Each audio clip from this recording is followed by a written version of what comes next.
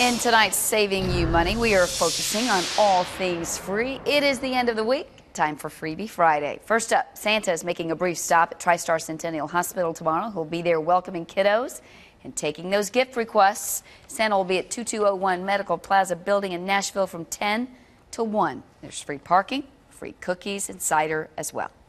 Well, if you're a veteran or a current service member, the Armed Forces Dental Center in Clarksville is hosting Smiling Saturday, December 22nd.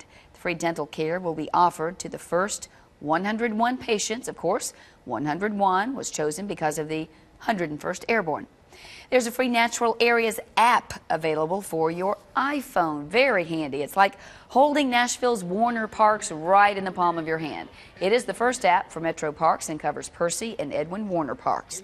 An app for the Droid is in the works. If you have Freebie Friday ideas or any tips on ways to save money, send them my way on Facebook and Twitter.